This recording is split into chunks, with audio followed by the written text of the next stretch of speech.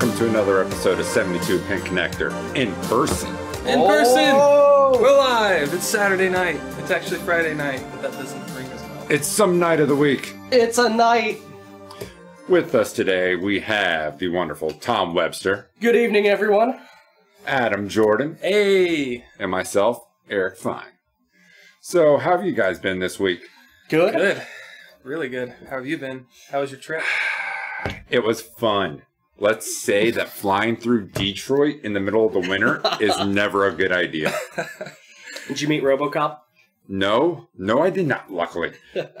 uh, we had delays leaving Seattle. We had delays leaving Detroit. We had cancellations leaving Detroit. We Oh. got screwed because a pilot got stuck in Colorado. Nice. It has been all sorts of fun, and I stayed right off of 8 Mile overnight. oh, that's beautiful. Oh, Nice and safe. And I was shocked because, you know, 8 Mile, everyone's looking dirt bad. It Yeah. was really nice. Sheraton? Inn, Best Buy right there. Didn't look like it had bars on the window, so That's usually a good sign. Yeah. Now, don't get me wrong. I didn't want to go over the hill and see what was on the other part of Eight Mile, but where I was at, I didn't feel too bad. So did you see Eminem? No, no, oh, no. okay. Sadly. So how about you guys? So my gaming's been a little light. You guys get into too much this week? Uh, just Yeah, I got into a a, little handful bit. of things, yeah. What you got? So, obviously Rocket League, as normal. Um, then I played the Resident Evil 7 demo. So, Tell me about that, because yeah. I failed at playing. it. it's it's really similar to how they did the PT demo. So it's not actually part of the game at all, but it, it still pertains to the story. Um, but it's very enig- enigmatic. It's very puzzling. Um, not a lot goes on. Um, you explore the house. You find items. You can get a key to go here or there. Um, your your objective is to escape the house. So um, you're looking around, you find a videotape, you plop it in the thing, and it shows um, you and two reporters go into this house. You're investigating because there was like a murder or something there a long time ago. The house had been abandoned for a long time. So you go into the house. Uh, one guy disappears, and you're you and the one other reporter is looking through. You're the cameraman, and you ended up finding the secret passageway that has a ladder down to like the cellar basement area. So you go down the ladder, and your guy is Blair Witch style, standing in the corner looking at the wall. and you go up to turn, and you, you put your hand on his shoulder, and he turns around, and his eyes are all bloody, and his face is all messed up, and he falls on you.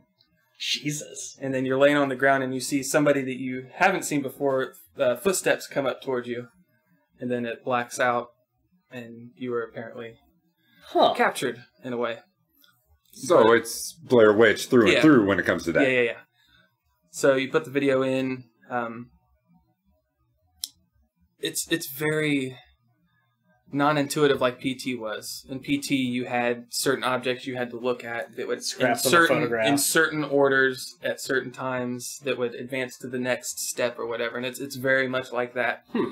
Um, it's one of those things where it took the community a little while to figure out all the endings because there's multiple endings based on all the stuff you have to do which you can't just sit and figure out in an evening. Like it's something a lot of people had to uh, come together and figure out. But um, it's interesting. It's very creepy. It's first person, unlike any other Resident Evil. So I'm, I'm curious to see what they end up doing with that. So the one thing I'll say about that I love PT. Yeah. PT it was a puzzler for sure. I mean there like Mhm. you pointed out, there was some things that I was amazed the community even came up with. Right. Like there was something underneath the step at the right spot. Yeah. Like who knows that? yeah. But it was also incredibly creepy. Yeah. I mean, there was things about that watching people Yeah. play that stream that made me just like, oh, Mm. what? Yeah. It's not quite as disturbing, like psychologically just disturbing as PT was. It's more haunted house, ghosty. It's more Resident Evil instead of yeah, Silent Hill. Yeah, exactly. Okay. But it's still very, it's very tense.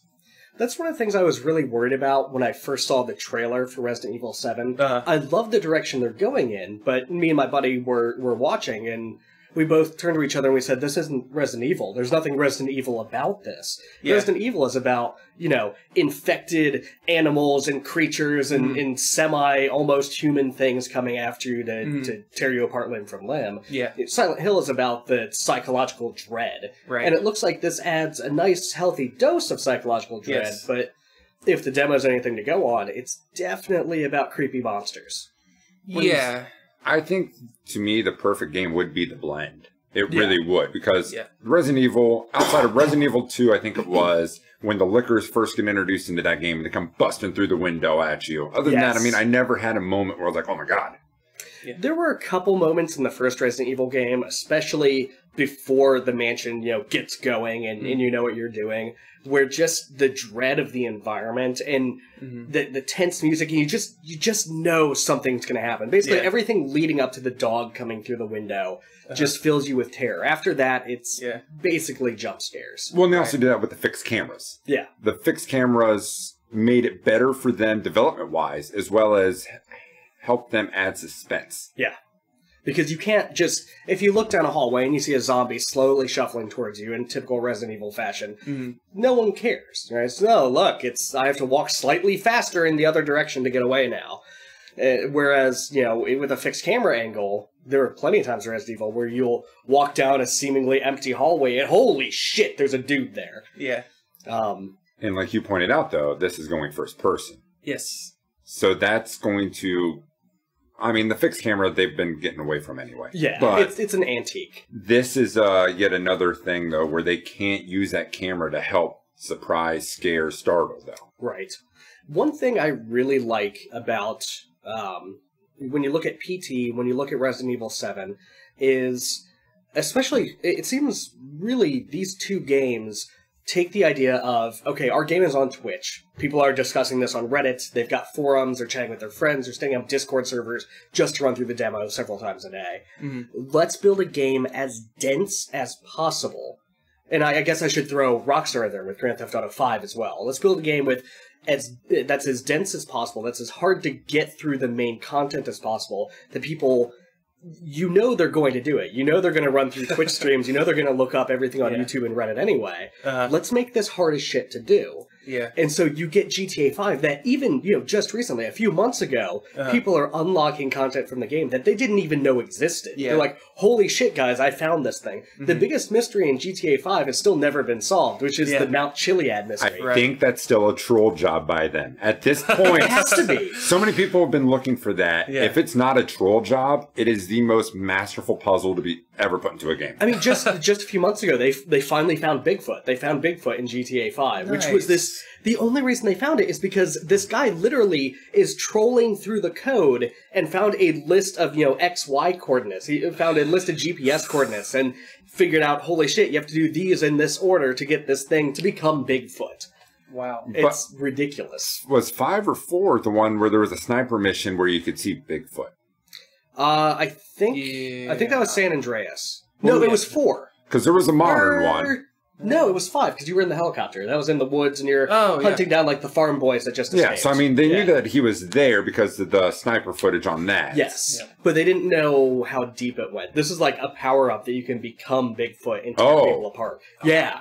Oh, it's big time. Oh. It's huge. You've got to find like these little plants that are they're scattered all throughout the the countryside of the area. And you have to collect them in a certain order, and eventually you'll find a golden one out in literally the middle of fucking nowhere. And you take it, and it's a hallucinogenic thing, and you hmm. become Bigfoot. Wow. It's amazing. And then you drive in a car cruising as Sasquatch. Yeah, and I think you can fight like another Bigfoot or something, and I think people chase you. There's there's an entire like semi mini game game mode built around this thing that was just discovered. So I, I really like how these companies are now trying to, you know, they're not only accepting the fact that their games are going to be streamed, they're Uh-huh. embracing it to the fullest extent.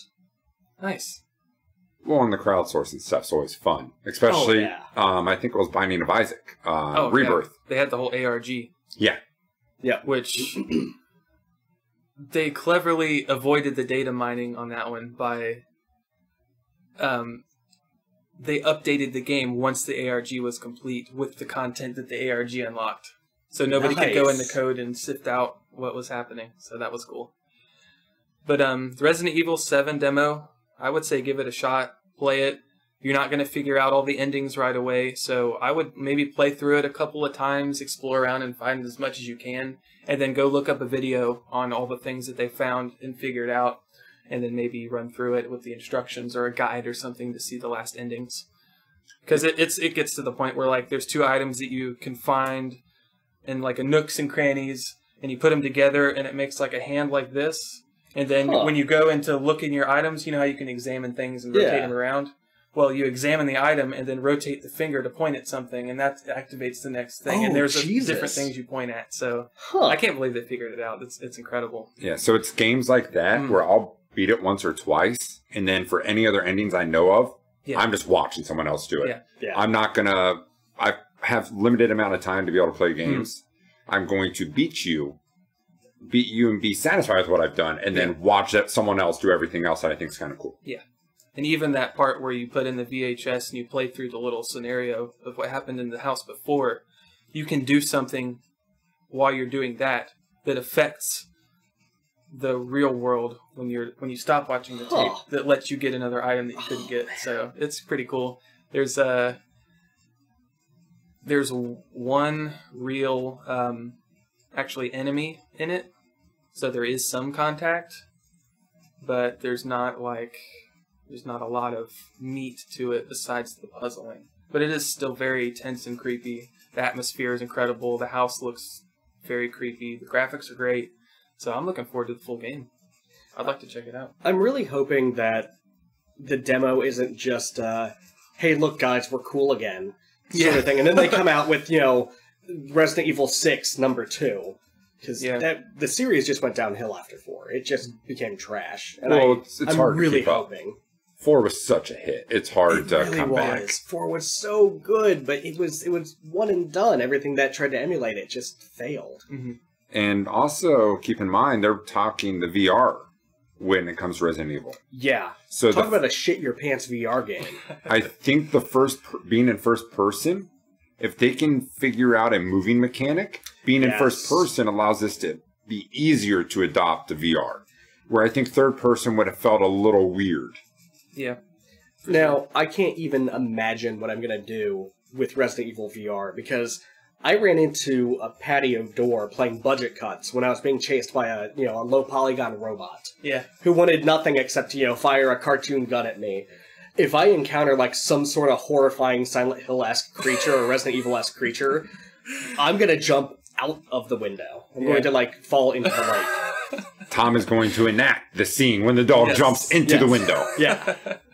I will, I will go Oh, full incredible. reversed Resident Evil 1. Wow. So seven demo, good. Yes, I, I'd recommend checking it out for sure. Uh, other than that, played The Walking Dead. Obviously, that's what we're here for. And I played the Doom demo since Tom t- speaks so highly of Doom. I, figured- I didn't know there. I didn't know there was a demo. So I didn't like, well, either. hey, uh, you know, there's no reason not to try a demo. So How far does it put you in the game? It's not very far. It's like you get to that facility on the Mars area, Okay. and then you kind of clear out through some of that, and that's it. Okay. So it's not very far into the game, but at least it gives you a sense of the atmosphere and the gameplay and all that, which is great. I had Yeah. a lot of fun with even just a little demo. And the best thing about those demos, you see how your system performs with it. Yes, Yeah. that's very important, and it runs great.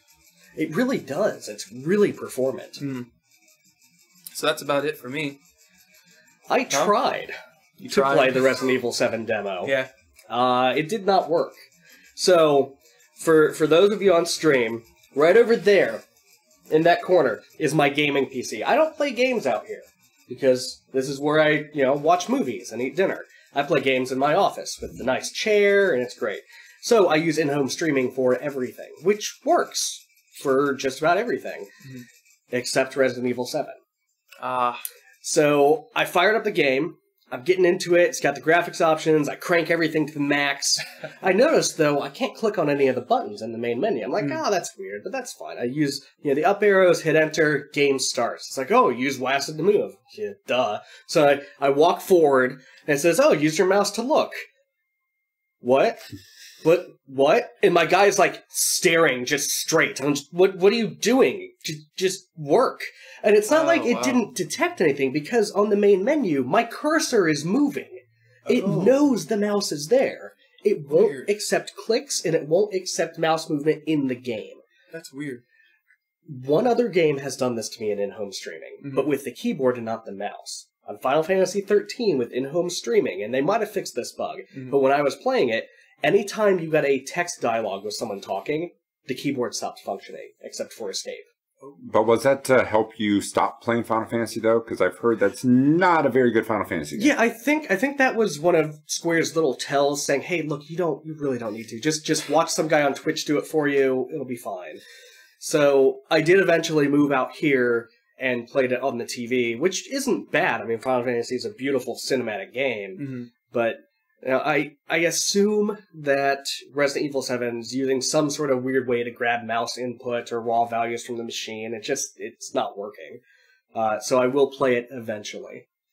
and but for it was those disappointing. for those who are wondering why in the hell his gaming rig is not in his office, he has a Vive. Vive setup. Yeah. So the gaming rig has to be here. You cannot in home stream a Vive. It does not work. You will get sick. Yeah, you you just you can't do it that way. I thought about it, Yeah.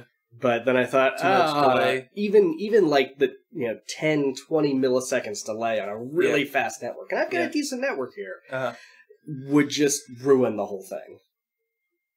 It's it's a really weird feeling when you when you turn your head and then your eyes take a second to catch up to what your body just did. It's really disorienting. Um, other than that, and I need to take a look at my my list um, because I forget what I played this week. I think you said you were going to try to get some uh, Doom multiplayer in. Yes, Yeah. I did get some Doom multiplayer in. Oh, my list is right there on the TV. Yeah, that, that- that's how I know Yeah. what you were Okay. playing. so, so I did play some Doom multiplayer. I'll cue you. Don't worry. Thank you. And uh, I don't know how to feel about it.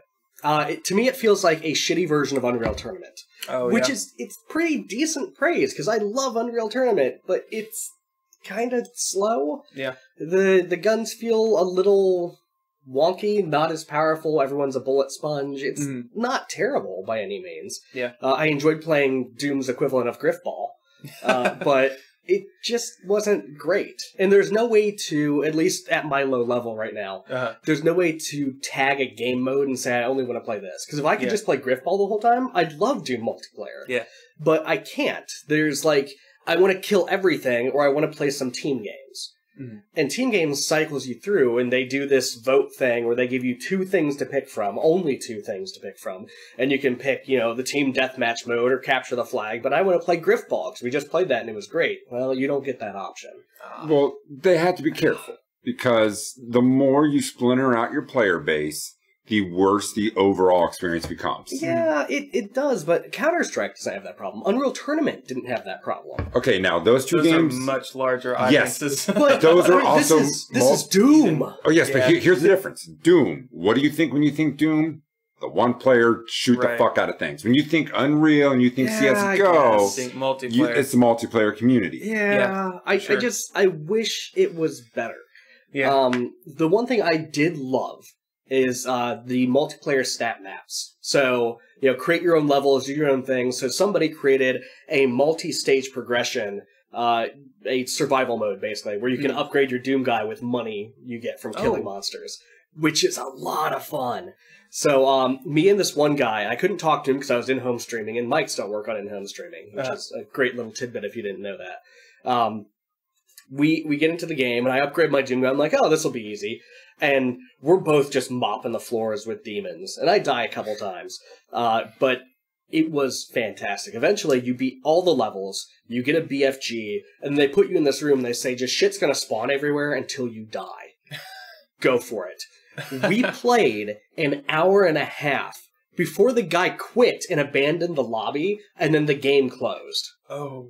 Like we literally we spent an hour and a half in the endless room just destroying demons with everything. And the hard part about it isn't surviving. That's Yeah. the easy part because you have at this point you have so much armor and so much health you can just last forever. Mhm. It's because you literally get down to using your fists to kill enemies. You run out of ammo so fast. So it was it was a good time. Uh, I threw in some Spelunky. I'm starting to like that more. Yeah. I'm getting a better I've feel for the great content. things about it. it's good, and I've never encountered a bad level. Yeah. I've never encountered a level where I just get screwed, like Mhm. in most roguelikes. Nice.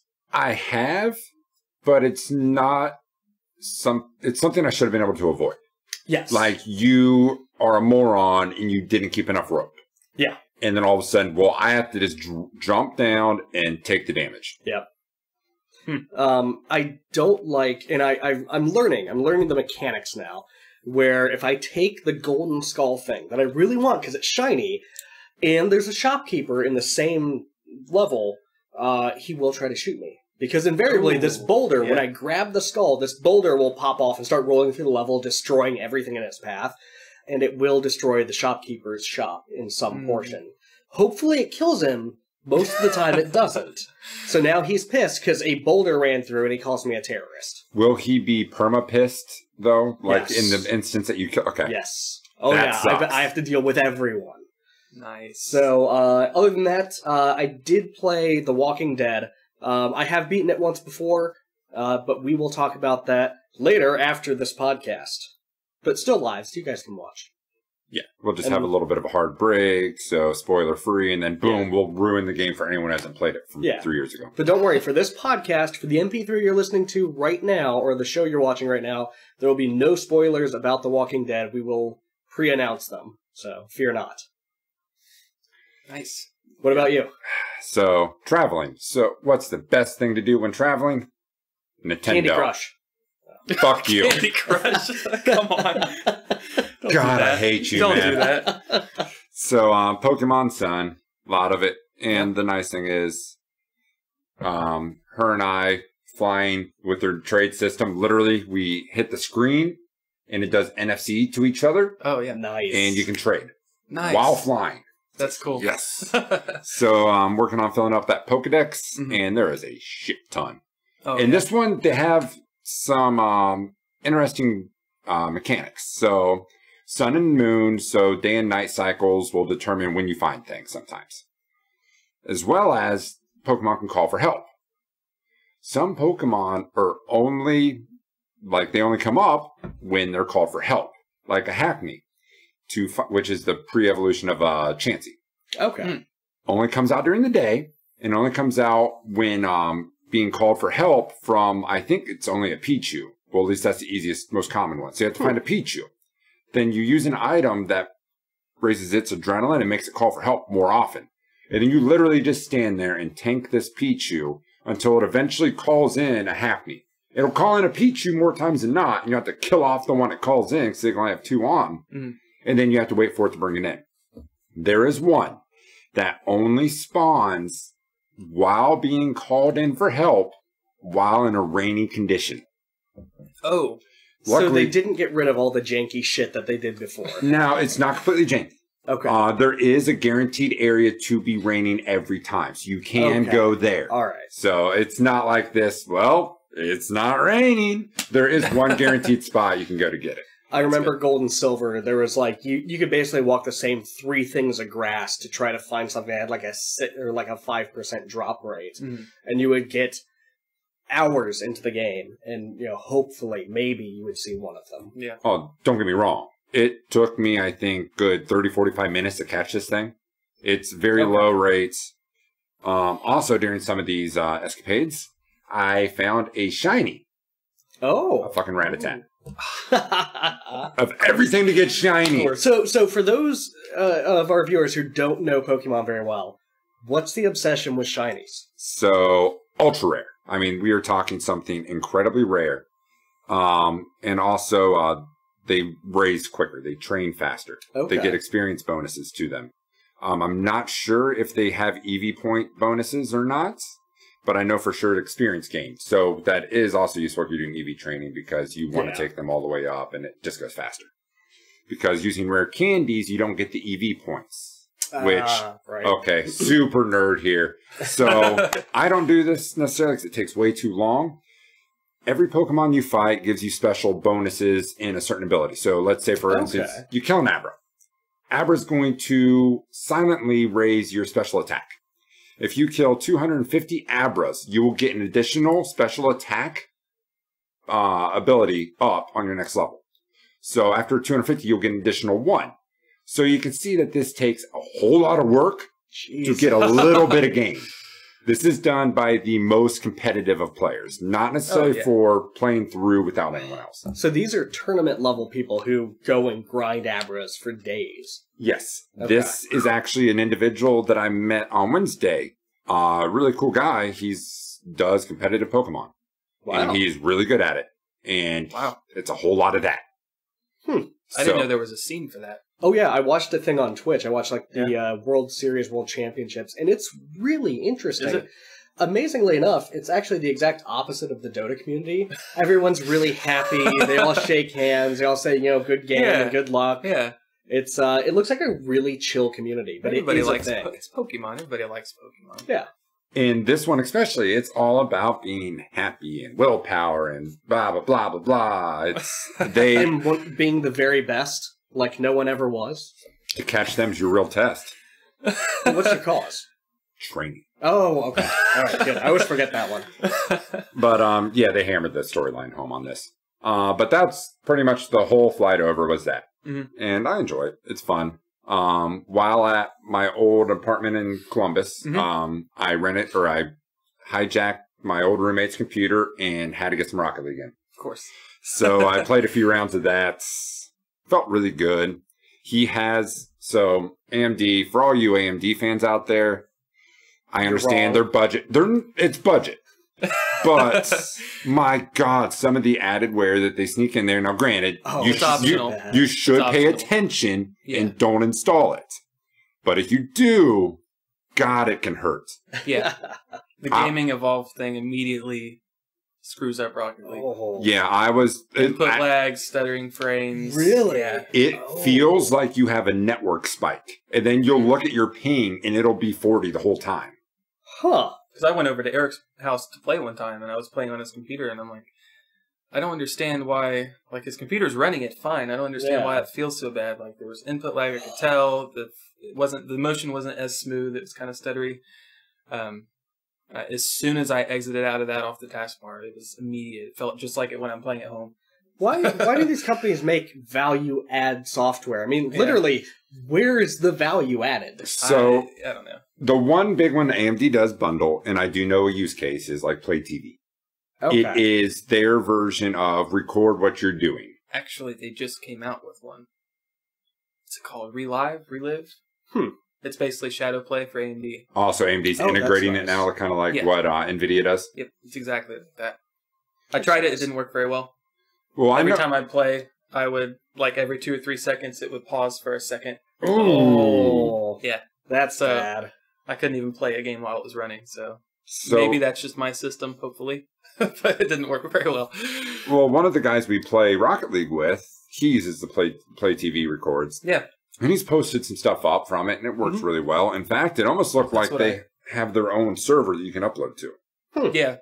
You can search through games and stuff. It's kind of like a social media aspect to it. But that's what I use to record all my. If I record any gameplay clips. Yeah, I've- I've got a lot of respect for the companies that say, you know, like Microsoft and, and Sony, who say, hey, uh, we're not going to lock you into this. Everyone's on Twitch. I mean, for fuck's sake, just hit the Twitch button. That's why Yeah. we have a Twitch button. Yeah. We're not going to take you to, you know, Microsoft Live Gaming Network.net.org or, or massive Sony Stream Platform.net. Now, It's just, just use Twitch. That's not out of goodwill, though. That's out of a lot of failed experiments on their end. It is realized when a platform already works, use it. I, I I get the the fear of building something on someone else's platform and having it you know shift out from under you. That that's happened in the tech scene for literally forever. Mhm. But for fuck's sake, it just works. Yeah.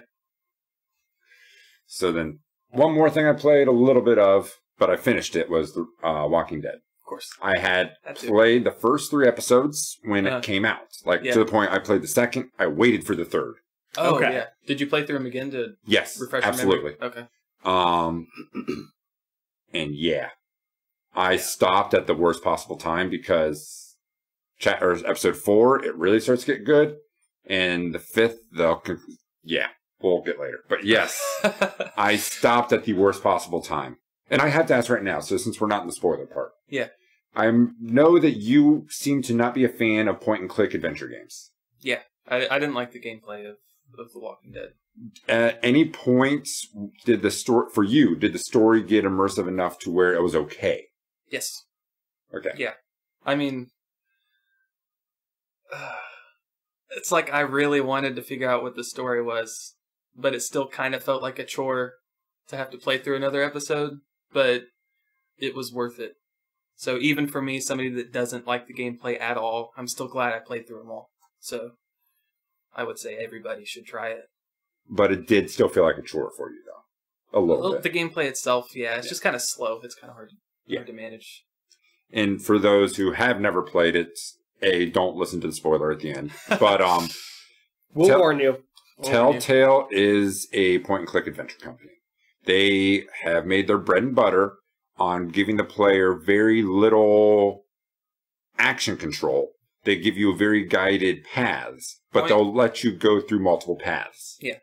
Point, click, quick time event. Yes. Point, quick time event. Chat selection, quick time event. You the- can walk around at least though. yes, You know the the games, the QuickTime events, and, and the little aiming segments Yeah. are the worst part of that game. I want the game to Yeah. be entirely I dialogue. could have I could have just sat on the couch and watched it and then picked the chat commands and been Yeah, with it. that part's great. But So one of the shooting, people probably like it. one of the shooting things, I had fun with this because I like shooters. Yeah. And I realized that so in Halo I do this thing sweeping where like you just you don't stop, you just kind of momentum through it. You can't do it on this. The game's not designed for it. But Oh, I tried. So what happens is I pull the trigger, the gun stops. I'm not on not not hitting and the Yeah. thing drops dead. Yeah. It is they understand the mechanics are so bad that they have to give you such a buffer on the hit zone. Oh yeah. oh, I, Well, it's I don't think. But I'm not knocking it because that's Yeah. not what the game's about. I, I don't think it's that they understand the mechanics are bad. They understand their players are bad. There's there's a big difference there. what are you trying to say? No, hold on, hold on. Let me let me explain this because it's it, it's not as terrible as as that just well, yeah, sounded. yeah. So they're not building a game for people who play Call of Duty or Halo. Well, yeah. They're building a game for people who play Monkey Island and Life is Strange. They're they're Yeah. building something for games that typically have never employed any sort of action element into them, right? In Monkey Island, the sword fighting was an insult duel. I mean, it was it was amazing, Yeah. but it never took anything more than you know just choosing an option Mhm. For The Walking Dead. Hitting something regardless of where you aim, yeah, it's it's a little cheesy, but it's like all of the action segments in Final Fantasy VII, Mhm. right? They're really shitty and they're almost impossible to fail because it's an RPG, and they Right. understand that RPG players are playing this, not Mhm. FPS people. Yeah. That makes sense. I mean, it was to a degree. Like if you were just shooting the building a mile off, yeah, they didn't Yeah. give it to you Yeah. because there were still death parameters. Yeah, right. But yeah, um, uh, that's all that. I won't go any further into that. All right. But Got some news topics. we do have some news topics. Little light, given towards the end of the year, things kind of slow down. But um, we did get some kind of big news out of Nintendo. Yes. They're uh, finally breaking into the mobile scene. Finally did. I think it was December 15th was the launch day of Super Mario Runner. Was it Runner or Super Mario Super Mario Run? Run. Run? Run, Okay. yeah. It's a runner is the game. Genre Is versus. Yeah. Yes. So, um, for those who don't know, this is a full featured game. This is a $10 buy it if you want it game. It is a endless runner. I use air quotes because it's not really, but your character, but- com- it, co- huh? It has an ending. Technically, yeah. yeah. It um you're running to the right constantly. You uh tap the screen to jump. Um there's areas where you wall jump, go back forth, can Mhm. actually reverse your direction because of it and then come back. But and that's pretty much the game. It's they're taking the idea, the core mechanic of Mario is jumping. And people are not happy. So the, the from what I've read, the core game, if you blaze through it, it can be completed in about an hour. There's no extra DLC. You know, the the Mhm. game is you get the first couple of levels as a demo, and you can do a you know an in-app purchase of ten bucks to get the rest of the game. Mhm. And if you if you're a gamer and you play this like a game made for gamers, you'll complete it in an hour. Now you won't get all the you know everything and bonus stuff and special Yeah. coins and all that. Yeah. that takes a couple hours. But it's Oh. it's a small game. But Nintendo didn't design this to be you know run through like Super Mario World. right? Yeah, it's it's right. not a you know plunk down on the couch and spend Play all day through the whole playing this. yeah. this is a I've got five minutes, so I want to I want to play some Mario, which But- it, it really works for. And also, there's challenge or high scores. Yeah. Compete with your friends. High friends. scores, challenges. Yes. It was meant to be played through multiple times, right? hmm Okay. Yes, very much so. Yeah, this isn't a you beat one one, you're done. You never want to go back. You don't want to touch it again. You beat one one, but you missed a lot of coins. You think you can get coins better, maybe get it a little faster, jump higher on the flagpole. I mean, it's going to be a game where I think in the end you will see people competing to get perfect runs. Yeah, Yeah. definitely. But the uh, mobile game community are um, not typical console gamers all the time. Right. It's a lot of people who like to go on the App Store and peruse for free games. Mhm. They find Nintendo has a game out there. They download it. They're excited. They see the first three levels, like, oh, this is pretty. This is fun. And then it hits them. This is ten dollars. Why in the hell am I buying a mobile game for ten bucks? Back in my day, So to me, it was it's frustrating hearing the outrage. I'm Yeah. tired of people viewing mobile gaming so much separately and like detached from the actual gaming community. yeah, right. I like Nintendo's attempt at saying, listen, this is a fucking video game that we put a lot of work into Yeah. and we are going to market it and sell it like one. Mm-hmm. yeah.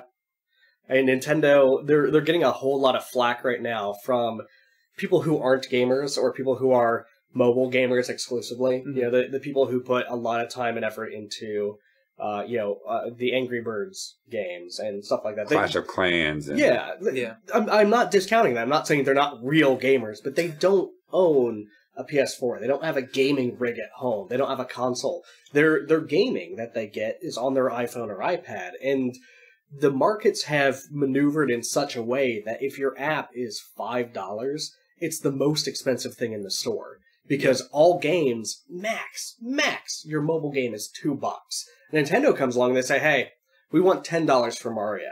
Mm. Yeah, and they should absolutely get ten dollars for Mario. Frankly, you know, as as a guy who makes software, I'm appalled at the prices in most app stores.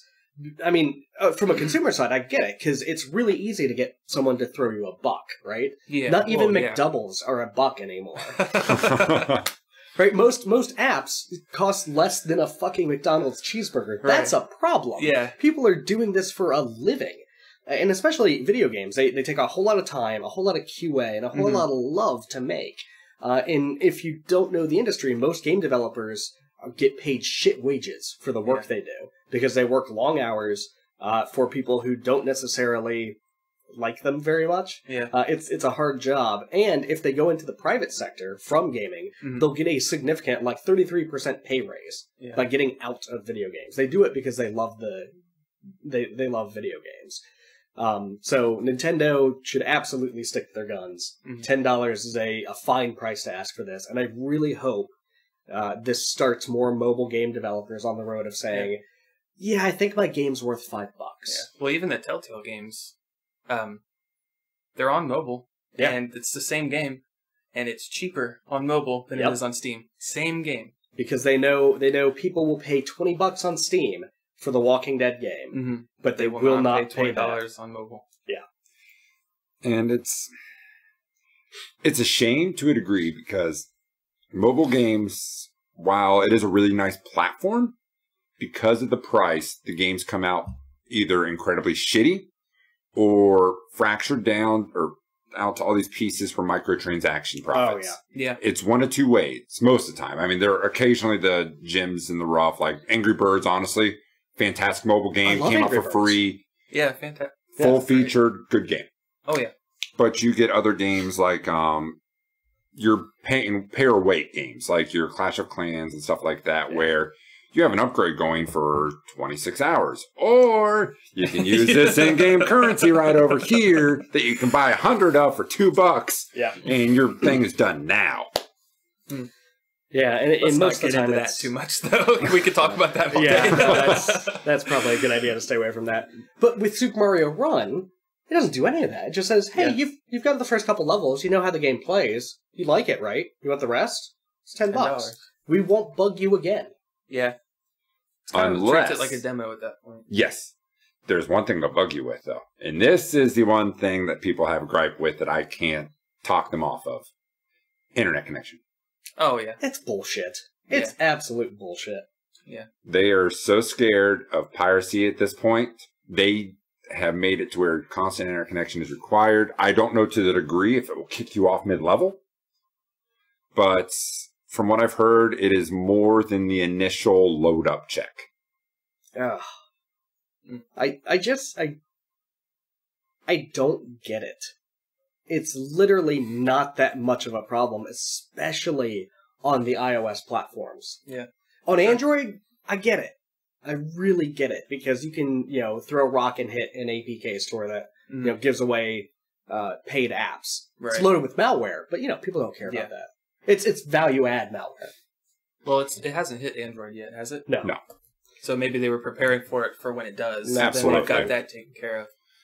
But then also, there this completely surprised me when Pokemon Go went out. Their stock went through the roof, and they only had a partial interest in it. Yeah. Mhm. It was Niantic and the Pokemon Company, and they have like what a third share in Pokemon Company or something like that. Yeah. This is Nintendo, and this actually sold well. And the backlash from this had their stocks dropping eleven percent. Yeah. Wow. Nintendo came out and they said uh, their their stockholders are yelling at them saying, "Hey, make more Mario levels. Charge more ten dollars." Yeah. And Nintendo said, "But it's done. What do you guys want from us? It's it's done. Yeah. It's over. It's like they came out at the end of Ferris Bueller. Like they they came out in their bathrobe at the end of Mario Run, and they go, "It's over. Go home. Find another game. Go back to Clash of Clans. This is all there is." Yeah. And, and the fans want more, Right. and the stockholders really want more. yeah. But I get it. They have finished the game. Let it be done. And you keep a franchise healthy by making them want more. Yes. Not because you give them more than they want, you give them less than what they feel they need. Yeah. Oh, I shouldn't say that way. More, they want more. Yeah, you give them less than what they need, it's a different Yeah. story. But if the game's already not getting good reception because people aren't happy with it, uh, maybe they should make some more levels. Maybe that would help them out a little bit. I, i- if they do, it can't be for free. It- Yeah. It, it can't be ten bucks. right. But but you know, maybe a five dollar level pack. Time out, time out. Are we talking talking now map packs on the mobile platforms? Yes. But it has to be a DVD that you buy and pop in your system. So it's the Halo 2 approach. Yes. Yes, Wow. we're gonna have Mario map packs. God, when map packs start coming to the phones, I swear to God, I'll never play another fucking mobile game. The new Doom DLC is a map pack. I, I got really excited because on, on the front page of Doom, which I, Mhm. I hate that they advertise it, but I get why they do it, it's to get the eyeballs. It's like Yeah. Doom DLC, and I got super excited. I was like, fuck yes, I get to you know slaughter more demons. And I, I click on it and I'm ready to, you know, throw my wallet at the screen and they go, you get like six maps. I, I just don't give a shit. Yeah. It's not good enough to pay for. Really, you could have given me this without a multiplayer mode. I would have been fine. Wolfenstein worked without it. I still think Doom probably hit a higher chord than Wolfenstein, though. Yeah, that's Yeah, a true. little bit. But hitting on Steam, have you guys, have- have you all um, blown your entire paychecks yet? No. I have avoided it, and and I was about to not avoid it today, but uh, Steam was down for almost three hours today. yeah, I heard about that. I was trying to send someone a link to the Stanley Parable, which, Yeah. if you haven't played the Stanley Parable, you absolutely should. Well, that was a direct look at camera, stern talking to. I've totally played This that. is not yeah, a paid I endorsement. agree. I'm just a happy customer. God damn it, Tom. Uh, so I was trying to send it to someone because uh, I want to say it's like three. Yeah, it's right there on the list. It's three dollars, uh, and I was trying to send it to someone to say, "Hey, Steam sales on. You should probably buy this because it's a fun ROM." Yeah. Uh, and I kept getting like, "Hey, you got an error. Here's a weird error code to send to Valve." And I was like, "Um, no, just refresh, thanks." I thought my network was screwed up because my network's always screwed up. no, Steam was dead. Everything completely down. store, friends, logging in, all of their game servers, the whole thing Uh, gone. I don't know why yet, mhm. but everyone freaked out. Uh, Valve lost approximately seven trillion dollars. Whew. Hash, hours. hash- hashtag hours. bullshit number. Yeah, yeah, no, that's, Yeah, that's, well, a, that's yeah. a complete fabrication. But it's Valve. There's a sale going on. Can you imagine the amount of money they lost by the store just being inaccessible? Yeah. That's, Imagine, that's imagine bad- if bad Amazon timing. went Yeah, down, you know, during Christmas on Black Friday, Right. because that's what this is for Steam. That's what Mm. this is for Valve. I mean, it's it's Steam sale time. Everyone's there. And all the Steam sales, Steam gets a little rough when they launch it because everybody scrambles to their computers and wants Yeah. to see the sale. So like the first thirty minutes, hour tops, you know, the site's slow. Sometimes the prices aren't updated yet. But three hours is a lot longer of a time. The Yeah. the worst one was um summer 15 because of the game. Everyone was doing that little uh, robot game where you like Oh, I yes. forgot about that. So I mean I remember like it, you would have to just keep hitting the page because you were just getting denied. I'm wondering if that's why they stopped doing those little games. Is because they got DDoSed by people playing the stupid Yeah. little game. Their their uh, protection came up it's like hey this is a DDoS underway let's shut down. Yeah.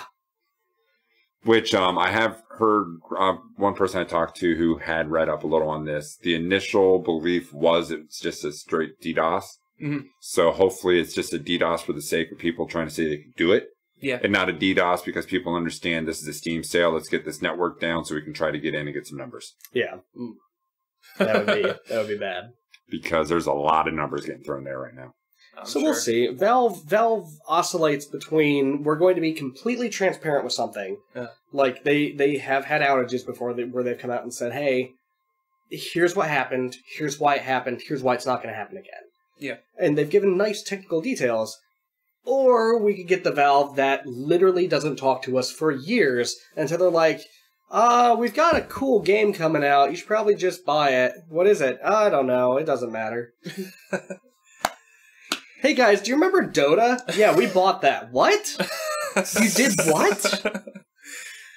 But on a lighter note, the Steam sale is going on, Yes, it is. and there are a lot of good games on sale. So, should we get into our recommendations? Yeah, let's get into some of those. What Yes, people right. can uh, throw their uh, hopefully some Steam gift cards at. Because I will honestly say, if you don't know what to get someone and they play PC games, get them a damn Steam card. Oh yeah, Oh yeah, Money well spent. I'm hoping. But um, I think the one that sho- uh, was really shocked with, price wise, is Doom. Has Mhm. been cut substantially. yeah. Yep. It's not Um, even that. It hasn't been out that long. Watch Dogs 2. That Yeah. game has been out less than a month on PC, and it is a 33% off right now. Solid. And uh, Prison Architect, 75% off.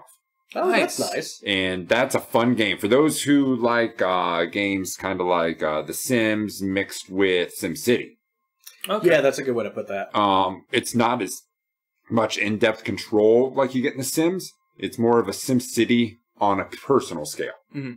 Only it's a prison. Yeah. Where you make uh, electric chairs and all fun stuff. But it's seven forty nine right now. And if you like simulation based games that are a little quirky, um, indie-ish, so it's a good game. Uh, yeah, Nice. I, I played it in early access, and I played it up until it became a real legit game, and it's it only got better. That was one of the few times I've been very pleasantly surprised by early access. I have two I can count, and both are on sale right now. Prison Architect and Kerbal. Oh, Kerbal, Ah. I forgot about that. Yeah, that was early access, wasn't it? Yeah, both of those. Um, if you are into simulations of any, any kind, if you're into physics simulations, definitely pick up Kerbal. Uh, have a good processor because there's a shit ton of physics computations that go on in that. Oh, I yeah. can only imagine. It's really good too. so uh, there was a, uh, and I, I wish I knew his name. There's a streamer on Twitch that streams Kerbal, and he's not a scientist, but he goes on Wikipedia and learns all this stuff, and then applies it to Kerbal and explains it while he's streaming. Nice. He's like, these are called this thing, and they do this, and they they can do this thing, but they're really used in this manner. And he breaks down the entire, like, all the components of a ship he's building. nice. Really cool stuff. That's interesting. Also, is a lot to say on the game they made. Yes. Oh yeah. Even though, from everything I've heard, they've got some bad treatment of employees over there. Do they? Yeah, they had a lot of, I guess, uh, employees quitting, Ooh. and That's not good. yeah, because I guess there was a big push to get shit done and really Uh. bad hours and environment, kind of what you were talking about earlier. yeah. It's so typical game industry bullshit. Especially smart up with a lot of cash that came in initially and probably gradually slowed down just because there becomes a critical mass of people that at a certain point you've saturated the market about as much as you're going to. Yeah, that's true. So another game that's on sale that we have uh, waxed poetically about uh, is The Witness. Yes. Uh, so if you We've gone on and on and on about this game. if you don't know about The Witness, go back a couple episodes. We talk about it in depth. Uh, it's twenty bucks right now, so pick it up. that's the heaviest it's been discounted so far. Yes. that's a that's a pretty big discount for as much game as you get out of that for sure. Yeah, that's oh my god. Uh, I'm- one I want to recommend heavily is Soma. So Soma is made by Frictional Games, the makers of Amnesia: The Dark Descent. Uh, Amnesia was revolutionary for the horror genre when it came out. Its story was so-so, but it wasn't really much about the story. Soma is kind of the opposite. So not everybody liked Soma as much as they thought they would, but it's one of the best games I've played in a long time. So Soma has an incredible sci-fi story. Uh, there's philosophical elements to it. It's going to make you think. Um, deals with like cloning and identity, those kind of themes. Um, Hmm. I can't recommend it enough. That was one of the better stories I've played in a while. And it's coming from the studio whose last game has incredible horror atmosphere and subpar story. This game, it still has the incredible horror atmosphere, but the, the horror parts of the gameplay aren't amazing, but it's still, it's very scary. Uh, a lot of dread. The the sound, the visuals, The incre- Yeah, the environment, the sound, the, the visuals are incredible. The enemies are really cool. They're they're scary. I can't recommend this game enough. It's ten forty nine, which I think is the cheapest it's been too. I remember when you were playing through this Yeah. because there were some talking points that got brought up in our chat, Yes, and it was like, "What the fuck? I s- like this is yeah. some weird." I got concepts. to this point, and you get to make a decision, and I stopped the game. I was like, I can't make this decision. I like, I paused the game, and I just had to think. And I just thought about it. I didn't even keep playing that day. I stopped playing that day because it just it made me think so much, and I, huh. It was it was really interesting. So definitely pick that one up for sure. If you like horror games or if you're interested in, in story driven experiences, for sure.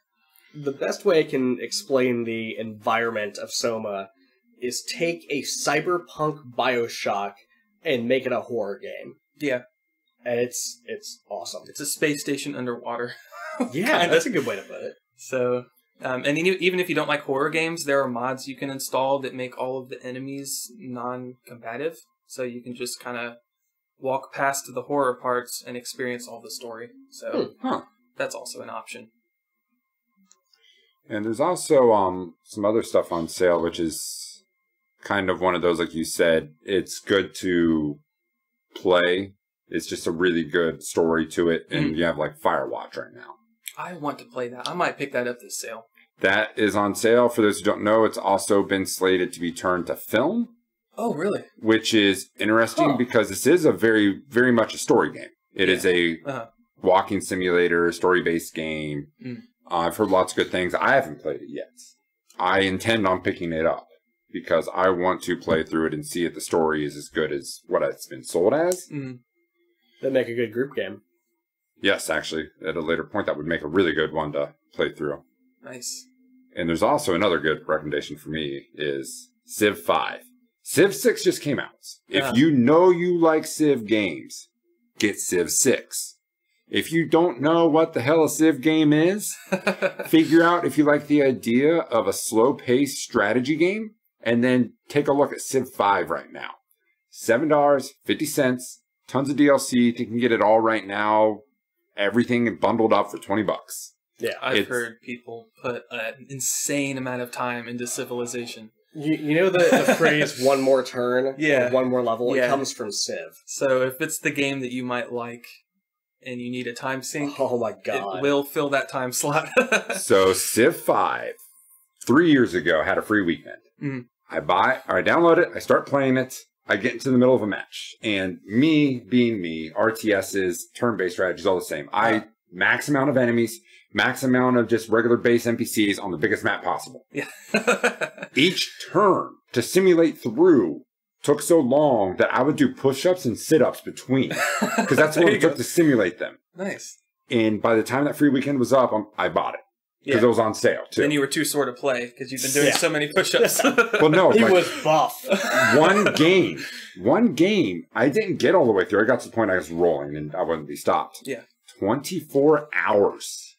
One match. wow. Yeah. So you know how how with chess, if you want a really long running game, you can do correspondence chess, where you literally mail your moves to the other person across the world. They open up the letter, they're like, "Oh, he moved here." You can play Civ in a correspondence fashion. So you have like a central controlling server, Uh-huh. and you just you send your move. You're like, "I'm doing this," and then when everyone has sent their move in, and there's like a timeout value of a few hours, Uh, then the game you know simulates that. nice. So you could That's have cool. you could have games with tons of people, where and you don't have to sit at the same computer at the same time That's nice. and get through a big game. I I would like Yeah. to see more games that implement that. That's that's pretty cool. I've put so much time into Civ, it's not even funny. um, mine was like in in the Civilization one and two era. Yeah. I loved Civ five, but one and two, two especially, was just awesome. So definitely pick that up. But if you're into walking simulators like Firewatch, Uh-huh. you can pick up the Stanley Parable on Steam right now for three dollars. I've actually I haven't played it, and I know that's a crime, especially because it's so cheap. So I might as well pick it up. It's But, so good. yeah, I've heard really good things. I received it Lots as a of breaking gift. the fourth wall. It's supposedly hilarious.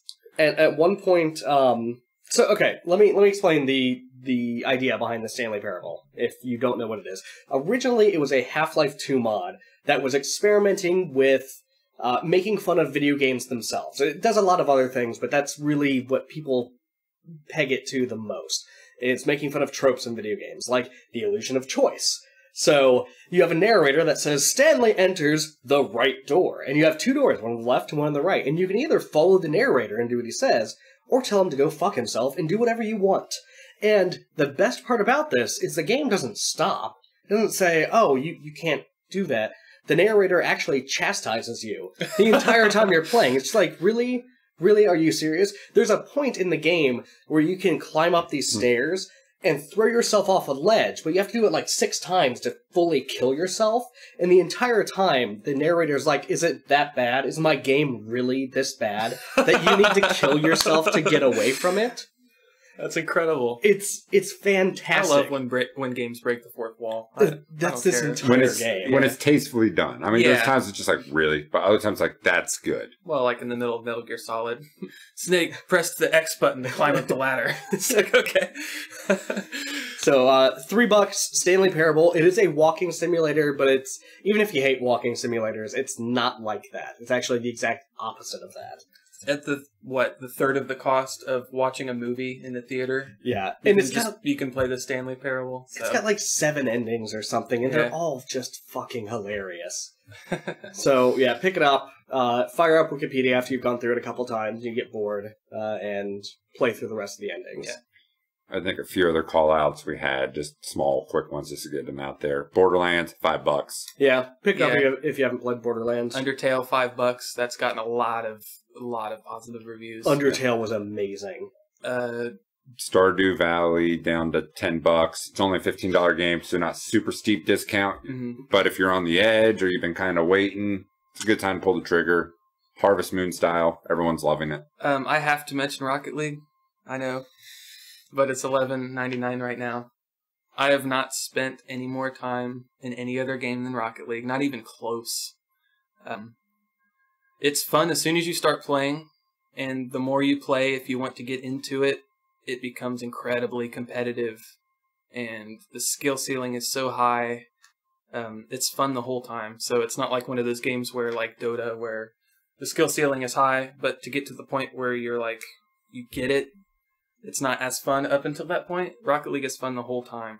Yeah. It's it's a fun party game with your friends, casually. the more you play, you start to learn how the physics work, and you start getting the muscle memory in, and then you can start doing things more intentionally, and then it becomes a whole different sports type of competitive game where you're making intentional passes and plays. So um, I would recommend that for sure. I'm a noob and I have fun with Rocket Yeah. League.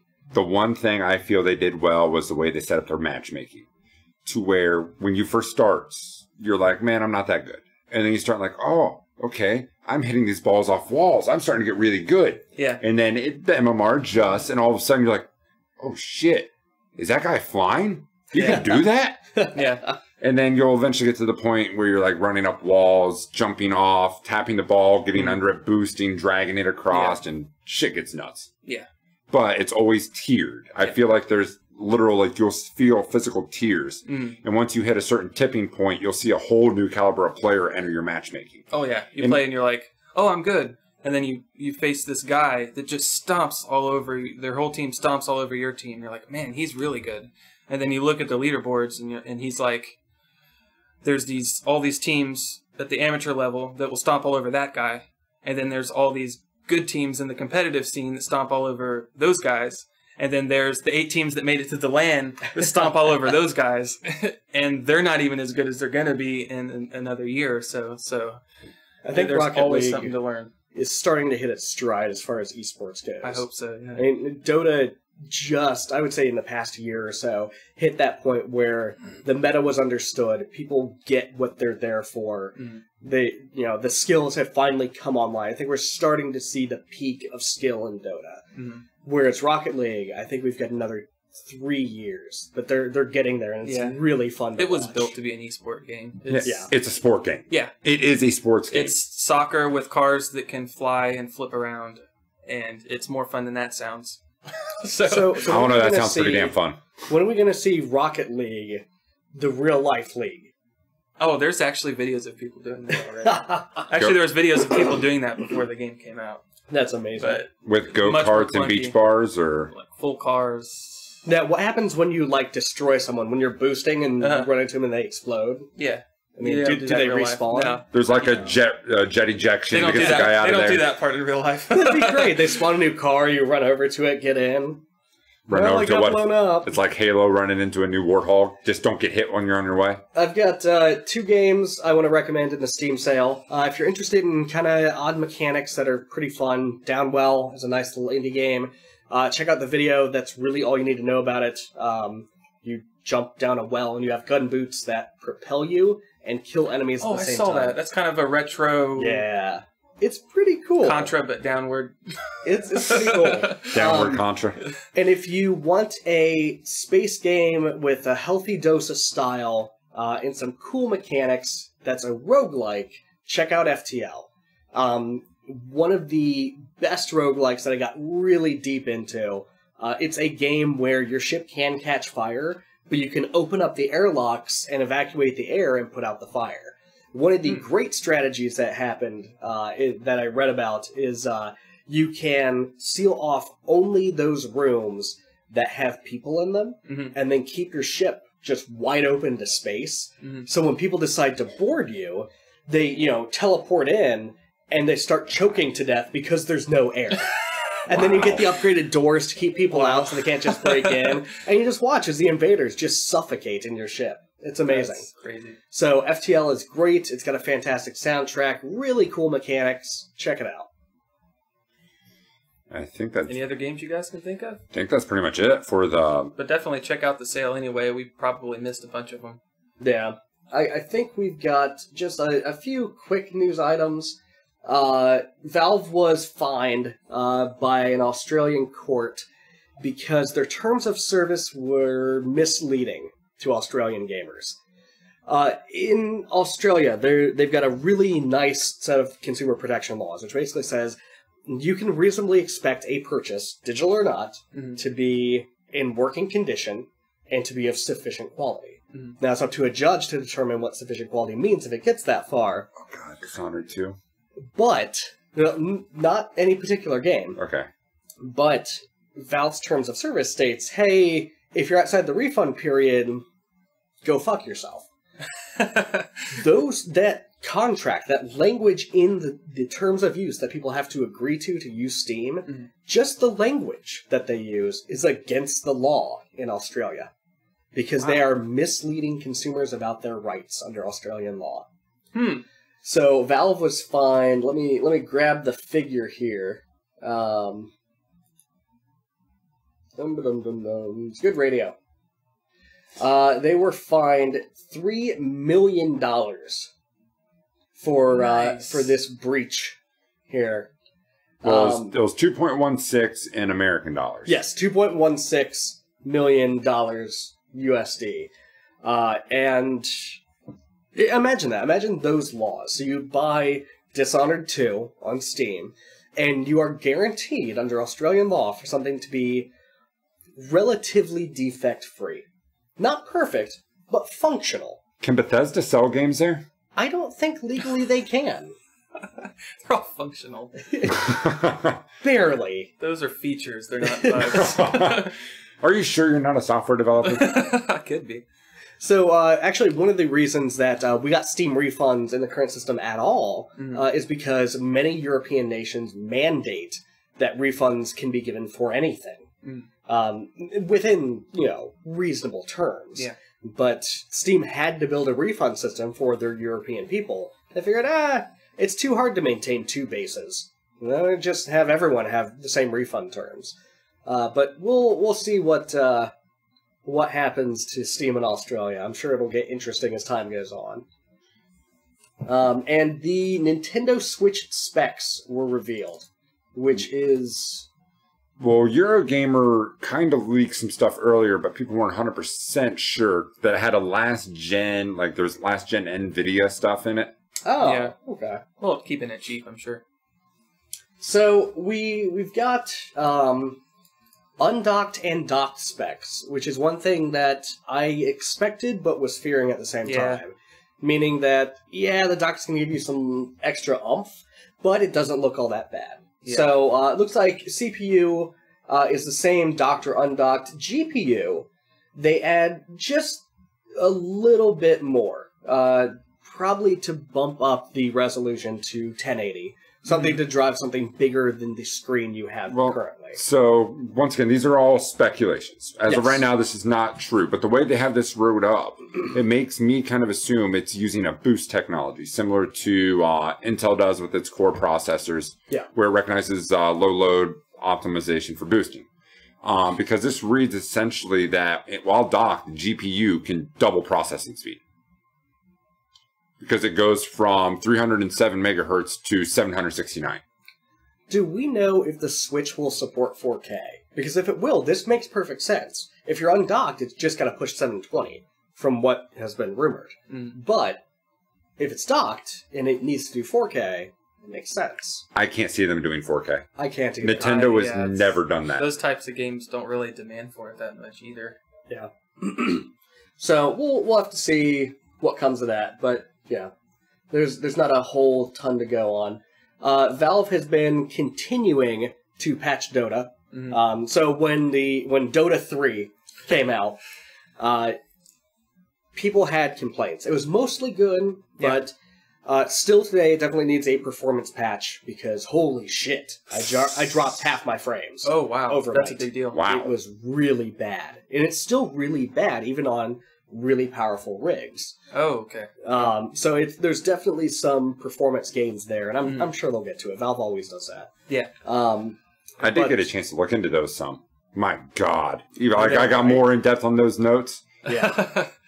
It's just absurd. So these aren't necessarily gameplay patches. These are more little interface things here or there. uh, It's definitely coming together. Um, I think in the next two or three months, the interface will be finally locked down enough to call it, you know, this is final for this patch. Yeah. Which is really good because, you know, I got on after not playing for two days and shit was moved. And Yeah. it really annoyed me. It's like, where the fuck did that go? I was looking for this stack 'cause I needed to do this thing and make a decision about my tree. Mm. It's it's all gone. It's all changed. Uh, but it's it's getting there. They've It'll ruffled the feathers before, though. When they switched Yeah. to the Source 2 engine, Yes. they initially did a split. You could do the beta you want, and then they're like, you know what? Fuck it. Everyone go to the beta. and they were still working out bugs after they forced everyone over. Oh, okay. Yeah, it's typical Valve fashion of, eh, it's kind It'll of be ready. fine. It doesn't have seatbelts, a windshield, or airbags, but it rolls, so everyone pile in. Um, it's something cool. Uh, that's it's it's a little kind of Dota in-house talk, but uh, EG, one of the bigger, one of the biggest Dota 2 teams right now, has announced that there will be no roster changes, uh, at least until the next major, which Oh. is pretty unheard of for a team saying, Yeah. "Hey, we just finished something, we're not shifting anything around." I like That's to good. see that. I like to see do teams too. sticking together. Yeah, because this constant movement of teams, it's great for the best players because they know, regardless of what happens, they're landing. Yeah. Uh, For the most part. Okay, well Team then- Secret got their shit rocked because it was a team of all stars that all had ego issues. Yes, but what I'm saying well- though is they had a team. They Yeah. landed a team. They did. It's your mid-level players who finally broke into a pro scene, had a good event, got picked up by a big team, and then gets dropped the next month. Yeah. It's those kind of things where it makes you question the stability of, of this as a career unless you are incredibly top tier. Like Yeah. you're a professional Dota player and you're still working a second time job. Mm. So I mean, it this kind of locking in is kind of what Overwatch is promising, which I think is Yeah. what's going to offer them the staying power in the Right. That'll legitimize uh, legitimize the scene. I think having teams stick together, uh, they can actually build fan bases instead of just individual player fan bases. You might have actual team fans that can keep be being team nice. fans Th- instead of would be being like, nice. "Oh no, my team broke up. Now who do I root for?" Well, who did this person go to? Oh, they all went to different teams. So that's good. I, I think one of the things that I I really like to see for all esports, not just Dota, Mm. is um, you know you've got kind of your minor league layer where you've got you know EG and Team Secret and Navi, and you've you've got teams that are just groups of players that say we want to go team now. And they go and do, you know, tournaments and minor tournaments, and then you've got the major leagues where you have the Chicago, the Chicago Evil Geniuses, and when you play for that, you play for the Chicago Evil Geniuses, and you will battle Los Angeles next week because that's how things work in the majors. and, and that way you can get the Valve style, everyone's happy, we're all a hippie commune, Yeah. mixed with the Overwatch style of this is the NFL of esports. and they need it. They do. Yeah. They really do. Dota absolutely. is big enough that they can put that kind of infrastructure around it. Yeah. Now, other games like Rocket League and that, they're still up and coming. They can't Yeah. quite pull that off. Right. In the next five years, they could, Mm. but not currently. I, and Dota 2 has enough following. Now, another game that might be able to, but I don't think it has the fan base to validate the need for it, is something like CSGO. Yes. Yeah. Yeah. CSGO is still in this area of yes, it's an esport. Yes, it's got fan bases. It doesn't have nearly the following it needs. I mean, the, Yeah. the biggest CSGO tournaments are in, you know, a, a conference room. Yeah. The biggest Dota tournaments sell out Key Arena Right. and have people outside around Key Arena filling up the lawn, watching it on projectors on screens. So when I lived in Columbus, um, there was a CS:GO tournament there, pretty big one. Had like a team like Liquid and some teams there, Mhm. and the line to get in was it was a decent line, but it was probably about 150 people waiting for the doors to open. Yeah. Hmm. So granted, probably as the day pretty good, though. went, Yeah. you probably ended up with maybe a thousand. That's still not bad. No, It's no, not no, no, bad. And because, like I said, I don't see CS:GO as a fan watching one, and I think Yeah. that's what Overwatch Yeah. should have to fight. It's going to be for everyone who plays it, and everyone's actually competitive about it. They'll watch a little bit, Yeah. but pull in the other people. Like I'm not a great Dota player. I like watching Dota pros. It's pulling in, being able to do that. If Overwatch can pull that, they'll pull it off. Yeah. And then hopefully Dota will follow suit because damn, Dota could do that right. yeah, they could. I would. I would love to see Valve take this on. So That's, uh, that's about it for the news, huh? Yeah. I, yeah, it, it is. Um, I think um, we have a fact for the week. we do have a fact for the week. Uh, so this fact is brought to you by my new Pirate Bay coffee mug. Um, You so would. if you pirated Serious Sam three, they did something cool. They didn't lock you out of the game. They didn't, you know, call you names on Twitter uh, until you complained about the giant pink scorpion monster that followed you around levels Uh-huh. and killed you and was invulnerable. Oh my god. So That's this excellent. this- That's so cool. creepy pink scorpion monster, hot pink scorpion, would follow you around everywhere and s- senselessly slaughter you.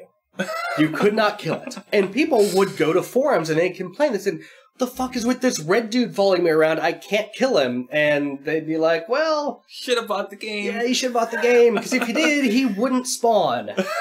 That's awesome. That's good. It- I it like only- it when they get creative with stuff like that. It only lasted for a couple hours until pirates were like, "Ah, come on, and then they patched it out. Yeah. But still, fucking hilarious. Yeah.